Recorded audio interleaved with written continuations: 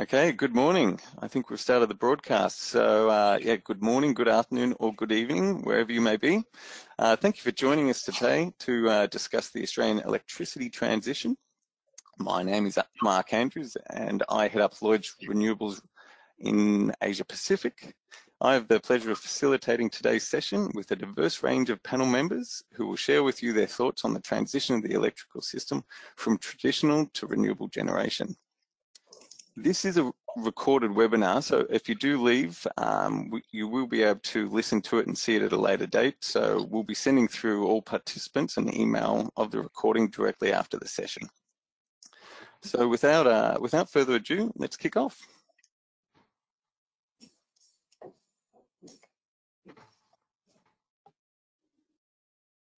Okay. So the agenda, for today will be pretty straightforward. Uh, we'll fly through the welcome and introductions and get straight into the panel discussion. Uh, if you have any questions, pl please send them through and we'll pose them to the panel at the end of the session. Uh, and all going to plan, we should be finished by about 10.30.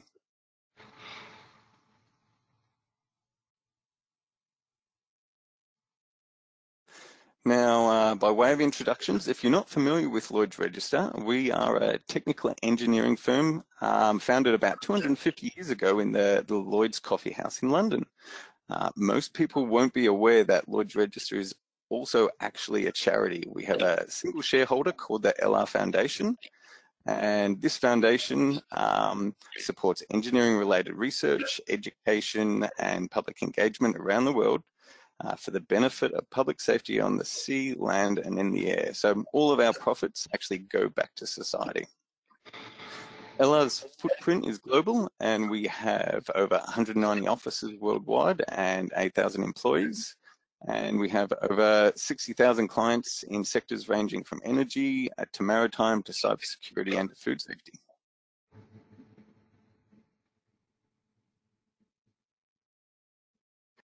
Uh, in terms of, well, at a, at a high level, we focus on technology solutions for our clients that improve safety, performance of complex critical infrastructure and supply chains. And we support clients through the entire energy supply chain, uh, whether it be traditional, so oil and gas and coal, to nuclear, uh, onshore and offshore re renewables, or emerging technologies such as hydrogen or tidal. Uh, at a local level here in Australia, we've been established in the renewable space for over 13 years, and we have supported the development of over 11 gigawatts of renewable generation in Australia alone.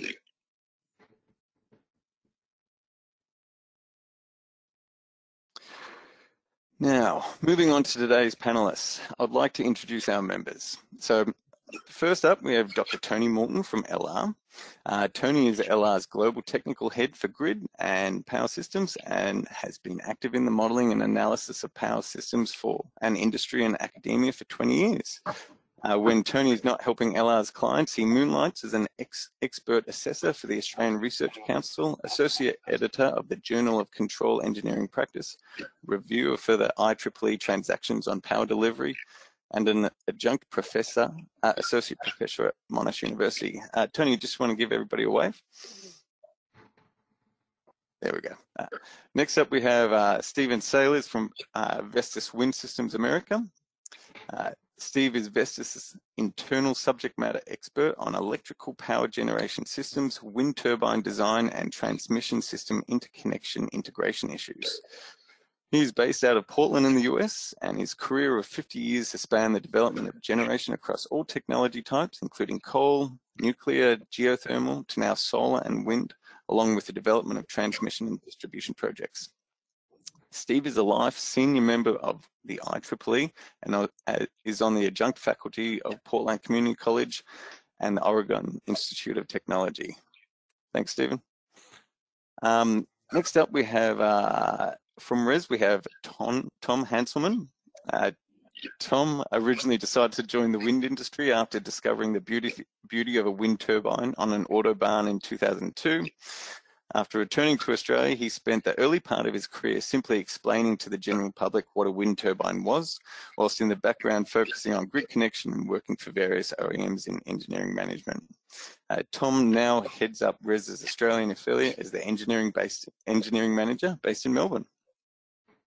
And lastly, but not least, we have Andrew Paver from AEMO. Uh, Andrew is a principal analyst in the Future Energy Systems team in AEMO. He's recently led a study on the effects of VRE on frequency control as part of AEMO's renewable integration study. And Andrew has over 10 years experience in the power industry, including time at New Zealand system, system operator, where he worked on the market tools responsible for frequency management. I'd like to uh, thank all of our esteemed panelists uh, for joining me today and taking the time to be part of this discussion. Uh, to begin with, I think everyone we have on the panel is more than aware of the challenges facing the industry, uh, particularly in Australia, uh, relating to the integration of renewables into the existing grid. Um, we're now at a point where it is cheaper to generate a megawatt from solar PV or wind than it is from the existing thermal plants. Uh, and based only on this fact, market powers should cause renewables to replace existing thermal generation completely. However, it is not just market forces at play here, and the sector is seeing a number of challenges with integrating new variable generation. These challenges range from regulatory hurdles and lifting of the bar to grid connection, um, system strength, development and provision of transmission infrastructure, to also the integration and acceptance of alternative technologies for maintaining grid operations. Uh, and and based on this, I would like to discuss with our panel their place in being part of and solving these challenges. Um, so let's let's start with yourself, Tom. As a broad question, what role do you provide as a developer in supporting the wider goals of a majority renewable system apart from simply supplying megawatts? And I'll, uh, I'll I would uh, Thank you, Mark, as you as you pull up that presentation. Thank you for the opportunity. Um, I'm truly excited at the, where we are in the industry today. I, as I say, I started in the industry back in the early 2000s and uh, was excited back then um, when we were burgeoning. And uh, mm. now there's there's so many great challenges that we can all play a part in. Um, so I'll just talk a bit about what what we as a developer and and what we do as a construction manager, also asset manager, but really primarily in the development of projects what part we have to play. So you could get onto the next slide there for me, Mark. Mm-hmm. Um, which yes, there we go. So look, a fundamental one. First dot point. We've got a big part to play, as the, do every other um, player in in this market, in this industry.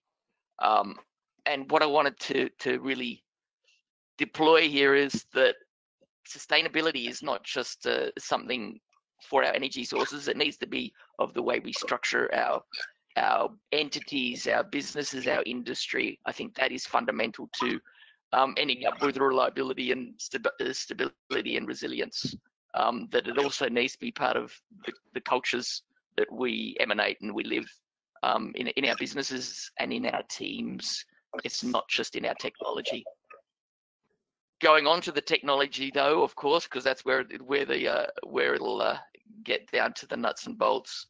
Um, we as a developer need to be thinking about those values of reliability stability resilience at the time when we're out there looking for a project. It's not just when we're trying to pass it on to a to an end owner or you know trying to get it into financial close stage trying to close out a, a connection agreement. That that needs to be the product of the thinking that's gone into the beginning. So just looking at where's our connection point? Is it appropriate? Have we considered future augmentations? Obviously, there's a lot of those um, coming at the moment, which provide a lot of exciting opportunities. We also need to think about where where they, you know, there, there could be less positive outcomes as well. Um, we need to think about about constraints, uh, MLFs. We need to think about the cutting topologies it's not necessarily just uh, uh, putting a substation next to the closest set of, of uh, three conductors that are passing by the hillside where we've chosen to put our, our wind turbines. What are we doing for robustness in, in our connection to the grid? Um, fundamental, you know, is one circuit enough of a cut in? Generated technology, it's an exciting time. Um, you know, we've obviously we've got type three, type four turbines but now there's obviously the need for or the, the, the talk and the need for, for grid forming technology in various uh, parts of wind, solar, storage.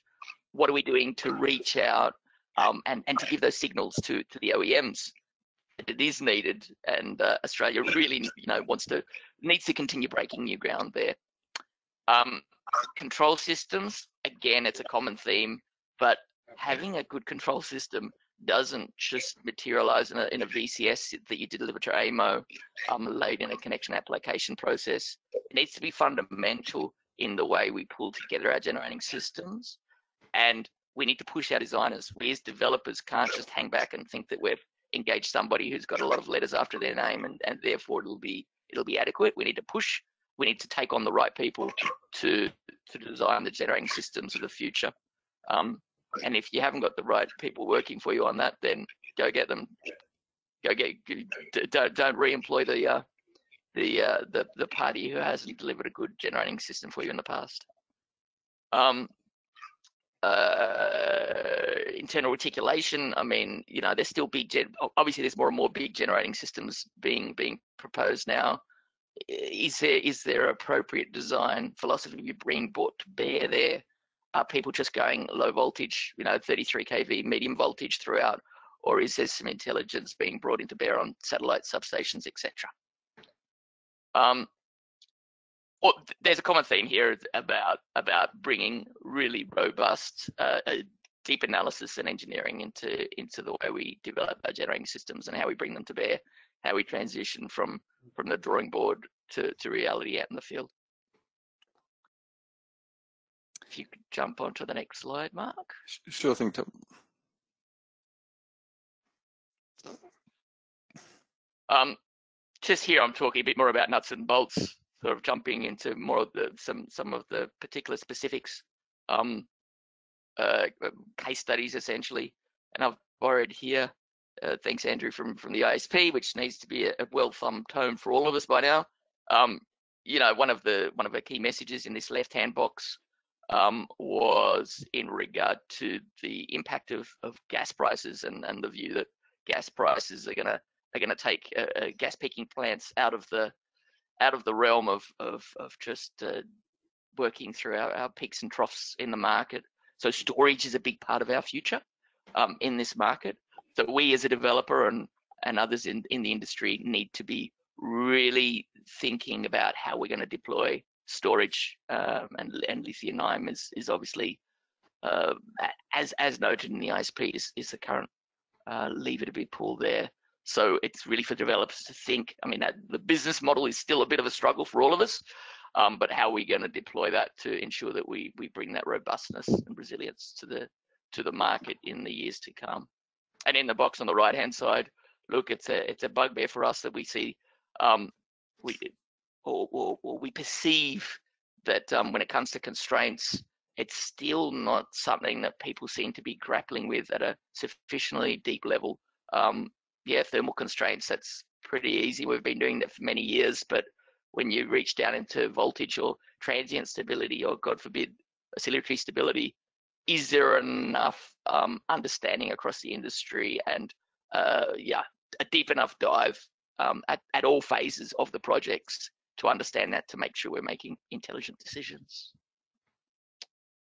And then on the next slide, this is a personal, they're all personal um, passions of mine, but it's it's definitely one I wouldn't want to want to um not uh, make use of the soapbox, the soft tissue, the uh, the people. Uh, all, all the previous discussion points there were about intelligent decisions and and and and making sure that we have well engineered solutions. Well, that doesn't happen without engineers. Um, when I was getting blooded in, I was I was learning a lot. I was really getting mentored by Wizenhead um, engineers who had had you know come through graduate programs with the ESC, etc. Um, and I'm truly thankful for that. And and I see it as you know personally as really important to to give back to the industry and the, the next generation of engineers coming through.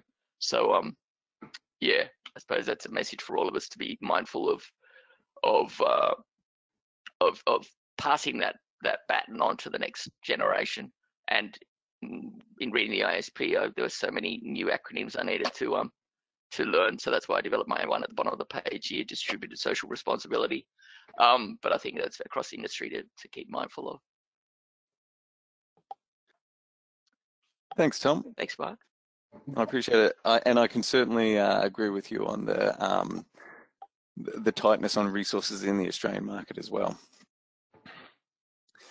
Now, I'd like to um, I'd like to pose the same similar question through to Stephen yourself. So, um, from a uh, an OEM, so from a Vestas or an international perspective, um, what role uh, do you play as a, um, in supporting the wider goals of majority renewable um, system?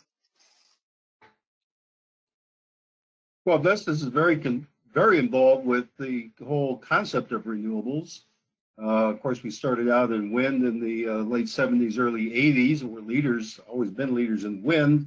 Last four, five years, we've been looking at expanding out into hybrid solutions and doing uh, taking full EPC uh, responsibility on contracts for uh, projects uh, where we do integrate wind, solar, and energy storage into one composite power plant.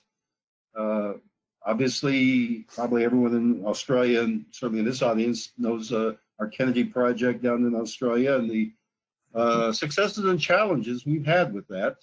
it's a, a good learning curve for us all uh, internally within Vestas, but certainly uh, we would like to have these learnings uh, expressed throughout the industry through our key working groups and forums we, we deal with uh, nationally and internationally.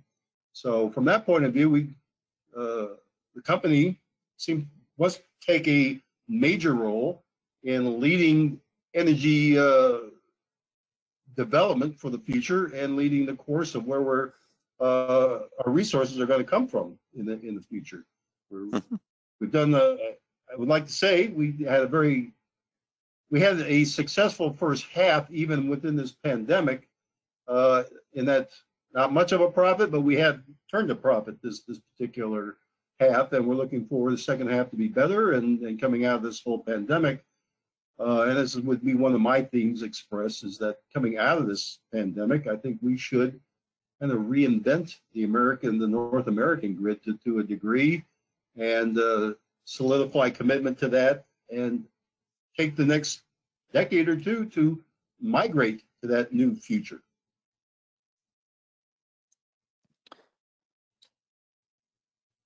And and are you seeing um, is Vestas involved in any uh, uh, or are you seeing much technology that will help the transition to um, uh, to a higher level of renewable integration? Well, certainly. Uh, I mean, I, I, could cover my my five uh, issues here very quickly, but certainly one of several of those uh, go back to the, the, page before that. The previous slide. Yep. Yeah. So one of the things, the, the first one is providing system planners with better simulation uh, tools and models.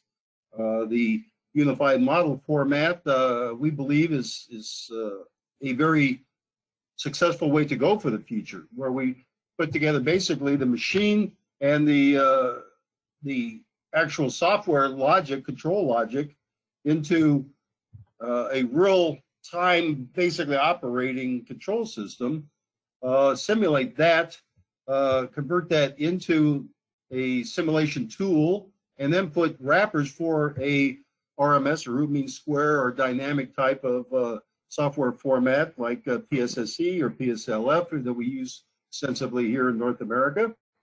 Uh, or use that same basic UMF, uh, put the an EMT wrapper like a PSCAD on it, then you the thing is, you've got a direct correlation between actual machine code and actual control response.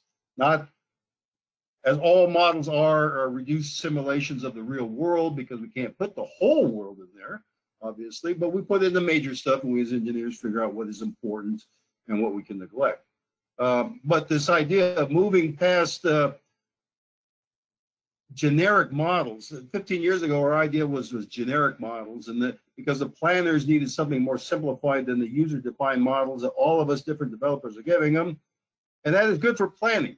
So my the purpose of this this first point is that yes, we need to improve our simulation models for the system planners, but also don't use the, the model you're using for long-range planning purposes for interconnection and trying to tune the plant to get it interconnected and commissioned and working properly with the grid. There's a two different directives, two different goals.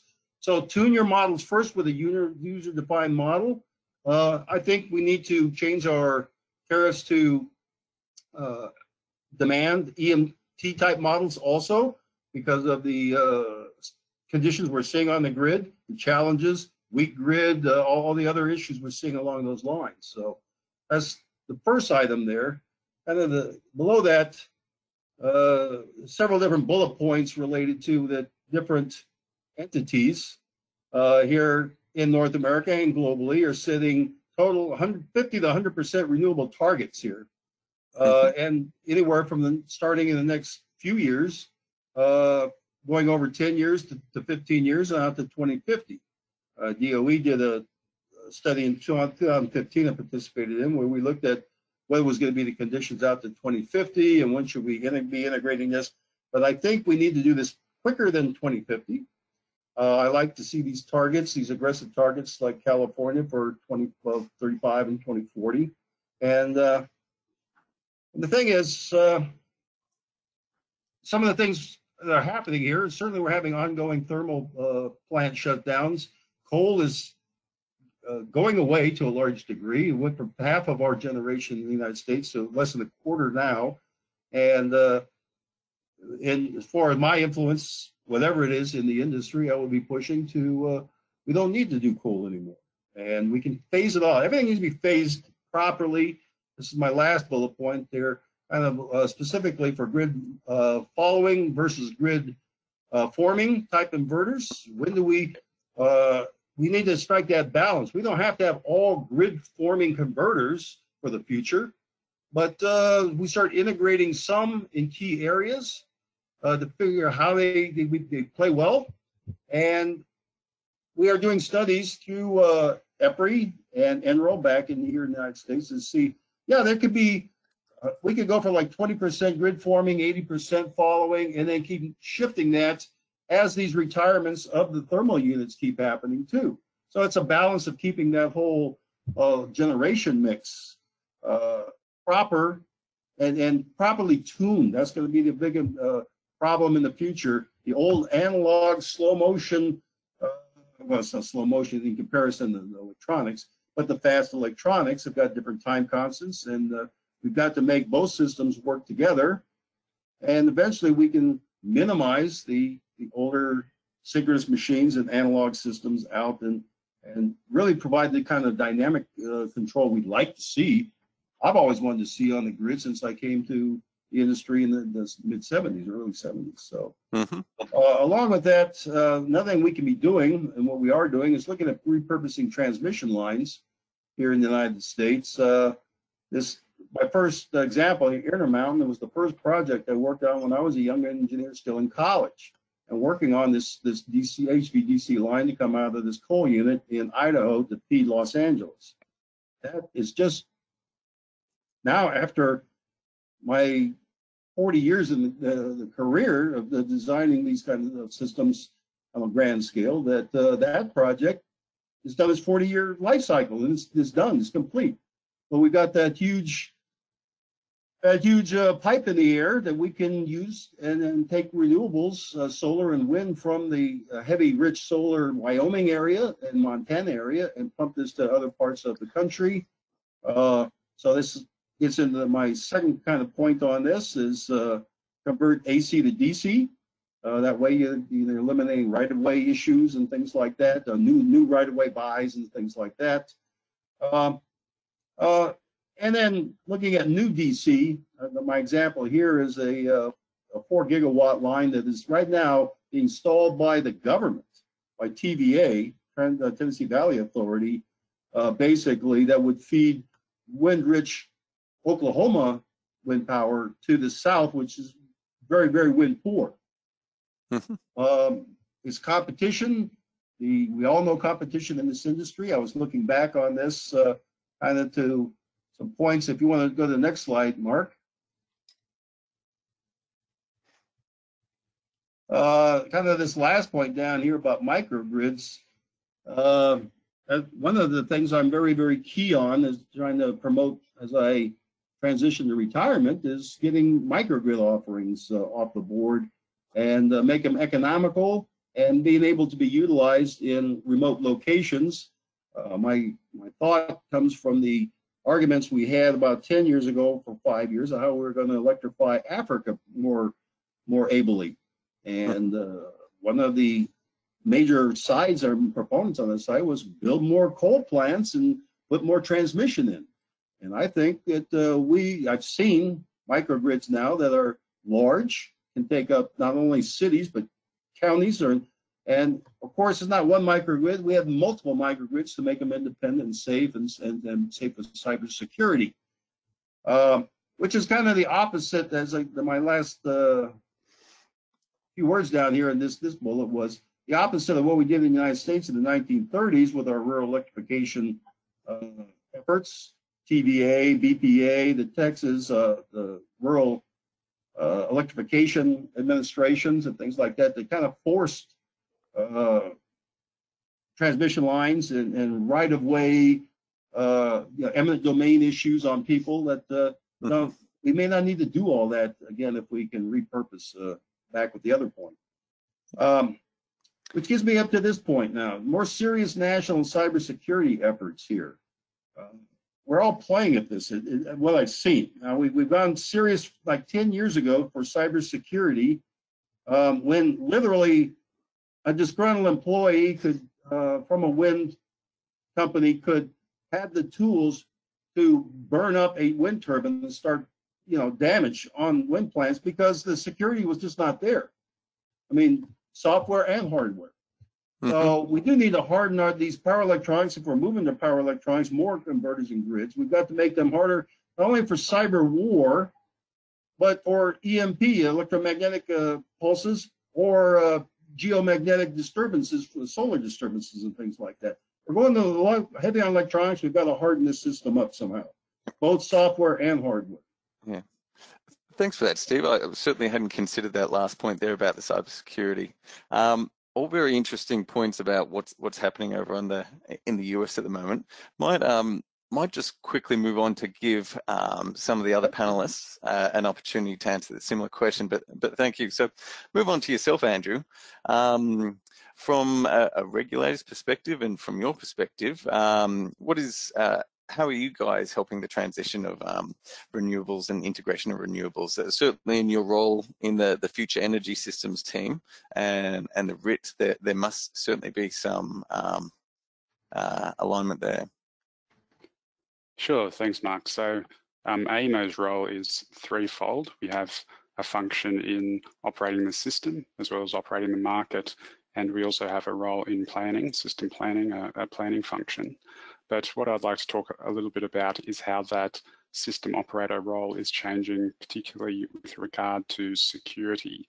So this is something that AEMO's been looking at recently as part of the renewable integration study that was published in April this year. And the question we asked was just that, standing here at 20, 2020, looking out to 2025, what are some of the things that are likely to pop up that could limit the amount of renewables online above those conventional network constraints that um, Tom was talking about.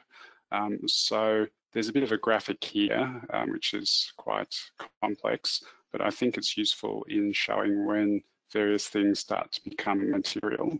So when we're talking about operating above 50% renewals, we could mean a range of things, but for system security, it's the instantaneous penetration that's important, or the total amount of wind and solar online as a proportion of underlying demand. And we can see that there on the horizontal axis. Um, so at the moment, we're at around 50% penetration, which you can see by those grey dots, which are actual measurements from a half hour period. Um, but our planning report, the integrated system plan, says that by 2025, we could have an additional 10 to 20 gigawatts of renewable um, capacity installed, um, depending on the scenario. So that's those red and orange dots there. But th that can take us to some much higher penetrations, but there's some challenges to get there. So firstly, um, there's that yellow area of that chart there coming in at 25%, so where we're already operating, and that's indicating some challenges with distributed PV or rooftop solar um, that we're already seeing. Uh, the first challenge being that disconnecting during faults and disturbances. And the second challenge is around the dispatchability of that plant. So um, this is particularly, well, this is important in emergency conditions, um, extreme abnormal conditions, um, such as uh, double circuit interconnector out, perhaps we have to manage an islanded region for an extended period of time or abnormally low load like we're seeing through through COVID, having the ability to be able to dispatch um, that renewable um, distributed fleet is, is really important. Um, the second challenge comes in in that green area there at around 50% um, to do with variability and uncertainty in the supply demand balance. Um, so prior to 50%, a lot of that variability is driven by the load itself. But as we start to go above 50%, that's increasingly driven by coincidental ramps in wind and solar. Um, if we can predict those ramps, that's great. We can have the resources online to cover them. But even with improvements to our forecasting systems, there's still some residual uncertainty. So there's need for greater flexibility in the generation fleet to be able to, to cover those ramps. Um, the, the next area there, that pink area, is to do with frequency controls. So as we displace our traditional sources of inertia, um, we are operating in new, new system dynamics, and part of that is making sure that the speed of our frequency control is, is enough to make sure we maintain system security. So I'm not sure how, how the magnitude of, of those challenges sound, sound to you. I, I think to me that sounds like there's a lot for industry to collectively work through over the next um, five years, but assuming that we, we do that, that takes us to about 75% uh, penetration. So that's where we start to intersect um, with the units that must be online to support backbone system strength. That's not an insurmountable limit. We can transition past that, but we need additional support from some of the technologies that Stephen was talking about, syncons or, or changes to the way that uh, we operate our thermal fleet. Mm -hmm. yeah. Thank you. Okay, thanks, thanks, Andrew. And and um, what's the what's the timing on the the RIS at the moment? Yeah, so um, this this study, the the renewable integration study, has been um, published um, earlier this year in April, mm. and it is it is um, really a problem definition with some some leading actions that need to be taken, but we're we're working on um, a more consolidated action plan coming out of that that work to take to industry um, um, over the rest of this year and early into next year. Okay, fantastic. Looking looking forward to it, Andrew. Thank you. Now let's move on to our final panelist, um, Dr. Tony Morton from LR, um, to get a bit of a consultant's view on, on the similar type of question. So uh, as a consultant, Tony, um, how do we support the wider goals of a renewable um, system? Over to you. I think you might be on mute. I'm sorry, yes, I was warned we ought to unmute ourselves when we're talking. Uh, thank you, but th thank, thank you, Mark and everyone. Um, I, uh, I, I guess the uh, from, from of Lloyd's Register, what, what, what we're aiming to do is to uh, really assist the industry with um, uh, under, uh, understanding the, the, technology transition that uh, we are actually in the midst of and, uh, and, and, and providing the, uh, the, the, the, technical, commercial and, um, and other support tools that, that are needed for the industry to, to, to make progress. Um, and uh, certainly in the time I've, I've been in the industry over 15 years, um, we, we've seen grid connection go from almost being an afterthought in the development of uh, renewable energy projects to, uh, to now being, being seen as a critical project risk. And um, a large part of that is simply because in Australia we really are on the frontier of this development. Um, we are we are now reaching a critical point in the transition, um, and uh, certainly if you look at South Australia, they routinely see uh, over 50% energy penetration from wind and solar alone. Um, and uh, from, from the slide Andrew just uh, provided, uh, we, we even see that um, uh, sporadically for the entire NEM um, as, as an instantaneous energy penetration. And this does, this does substantial challenges, as, as, as we know. Um, but the at, the same time, I think it's fair to say that the uh, the, the, policy support um, needed to guide this transition has been somewhat lacking. Um, to, to, to, to, put it dip diplomatically, I guess we, uh, we we have had difficulty having a consistent energy policy in Australia, and and and I guess this is this is this is the problem because um, get, get, getting things right means we need to be looking at um, just just beyond the number of megawatts that are going into the system from whatever source, and we need we need to consider um, these uh, the, the, the, these other factors like efficiency, security, resilience, and also value add um, for, for for the industry. Because of course we operate, the electricity system as a market, and that means that um, there there, there, there really needs to, or all, all, all of these factors beyond the raw energy that goes into our system, these ancillary services need to have a value proposition, ideally, for the uh, for, for, the developers of, of, of, projects in order to uh, in order to function within, within this market environment. Um, and uh, and so it, it, comes back to policy because we, we saw 15 years ago and we see now um, the uh, transition toward 100% renewables or even just majority renewables was never going to be a plug and play proposition. Um, that uh, it, it, it, it's quite clear that uh, in, in, order for the um, there, there is clearly a market demand for, uh, for, for renewable electricity in, in large quantities, but for that demand to manifest itself, it needs um, the, the support from institutions and non-market mechanisms to, uh, to, to ensure that the network and the power system can also evolve alongside the, uh, the, the, the, the, generation technology. Um, but uh, we, we, we still um, don't have all the answers to these uh, to these questions that that, that, uh, that, were being asked right back in 2005. Who who pays for the uh, for, for, for, the for the transition of the system itself? Um, to move from an, an approach based on um, well-defined uh, large generation and load centres to one that's uh, very much based on distributing generation and load around the system and uh, and, and having power generated um, sometimes closer to where it's uh, to where it's being demanded and uh, but but sometimes a lot further away and in parts of the system that uh, that, that were not designed back in the 20th century to accommodate these sources. Um, and another another part of this, which is uh, one we've, we've been looking at substantially, is just bridging this gap between the, the mechanical and electronic paradigms of uh, of actually running an AC power system. Um, and uh, we uh, we we have um, so so for the last hundred years, AC power systems have operated very well, um, essentially as um, as as extensions of mechanical systems. We have hmm. we, we, we continue to run our electric power system um, uh, based on based on mechanical principles because the, uh, the, the majority generation sources have in fact been synchronous machines and the principles of operation of those machines have translated into the principles for how we operate the system as a whole. Now, as we as we displace that technology and we are bringing in different technology that operates on different principles, it does mean the need to to rethink um, the, the, the way that we uh, that, that, that we conceive of the the, the, the fundamental basis of operation of the system. So bridging that gap has, uh, there are a number of approaches, of course. We can put in synchronous condensers in place of um, thermal, thermal generators. This is the keep it mechanical solution. So it means it's well understood. Um, you can add flywheels to put lots of inertia into your system to replace what's what's what's lost when you when you retire the coal-fired power stations.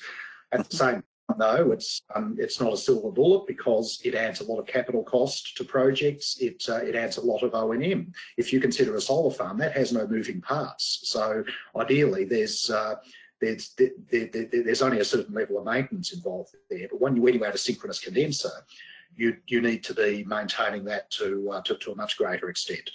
Um, and, uh, and and and because the, uh, the, the the synchronous condenser is is really just providing a reactive power service, not an active power service, so there's not much value add that you get for the generation owner above that, um, and, uh, and, and there are limitations to the capabilities it can provide. An alternative, of course, as we know, is uh, grid forming batteries, um, such such as we have um, at Dalrymple, Australia, for example.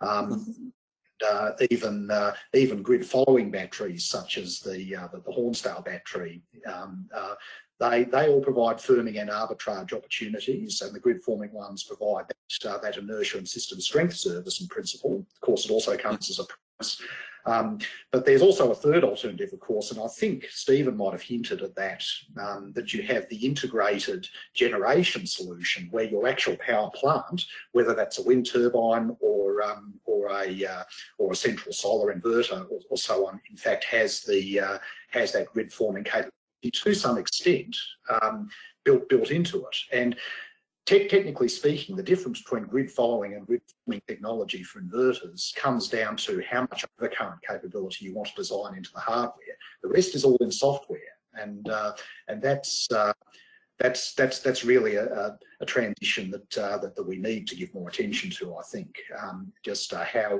we uh, how we run these control systems to again provide that value add opportunity both for the um, both the generation owner who wants to get the megawatts out of the system and also for the for, for, the system operator and looking at opportunities to find synergies between the two so that we can balance those interests and uh, and and and actually get a value proposition for everyone.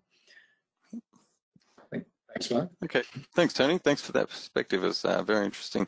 We do have a couple of uh, questions um, from the audience, which I would like to go through, just noting that we are running quite a bit late on time, so we'll just keep these quick.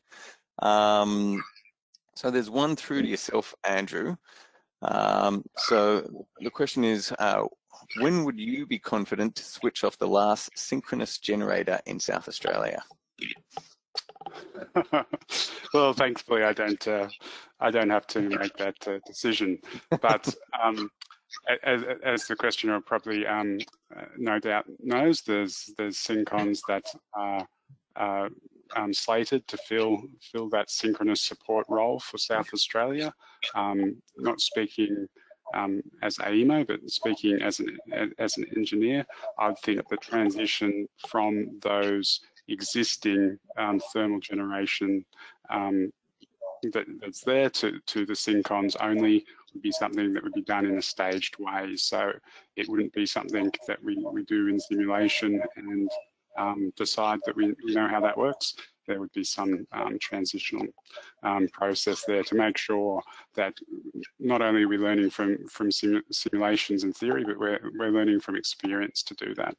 Um, we also need to make sure that we have all of the other support services in South Australia that we need to operate Shredded Island, um, um, yeah, um, frequency control, etc. yeah, thanks, Andrew. Uh, one last question, and, and, this is for yourself, Tom. Um, so the question was, what do you see the future power station looking like? So what kinds of tech, um, uh, how's it integrating with the wider system, um, and so forth? Yeah, great, great question, and not not not a small one to answer. Um, there's been a there's, there's a common thread. I think a couple of the responses now have been speaking about grid forming or synthetic inertia. Um, I do see that as a fundamental part of of what we need to do. I, I respect Stephen's comment that it doesn't have to be on every generating system, but it needs to be sprinkled throughout the generating uh, the the not the generating system, the overall system. Um, I think that's fundamental. Um, I when, it comes to the, the the spinning mass of the of the uh, synchronous condensers, I though I respect the physics and we love the physics, uh, seeing the sort of the active power consumption and the O&M costs and everything else that come with synchronous condensers, I, I do trust that we're going to minimize those um, uh, throughout the system. And, and obviously there's there can be some unwanted um, artifacts when we've got all these disparate spinning, little spinning masses around the system. So I really hope that it's going to be vastly not too much focused on synchronous condensers, but there's going to be a lot of grid forming, syn uh, synthetic inertia, renewable energy sources. That's what I would say. Okay. Thanks for thanks for that perspective, Tom. Now I think we're we're running very short on time here, so so let's wrap it up. So uh, first of all, I'd like to thank all of our panelists for joining us here today and taking the time to uh, to answer my questions and to share your thoughts with um, with our audience here. I think it's been a great discussion. Good to see some really different perspectives, especially from yourself, Stephen, with the US approach, um, Andrew with uh, what's happening at the regulator, and certainly Tom with the developers, and, and of course Tony with um, a consultants and LR's position on the on the matter. Um, so um, thank you very much. Um, we uh, will be sharing with everybody the the um, recording of this session afterwards, um, so you can you can listen back to it in your your private time. Um, and if you do have any other questions that you need uh, that you'd like us to to answer, uh, some of our um, contact details have been provided there as well. So uh, thank you all again for your time, and um, I hope you have a good day. See you later.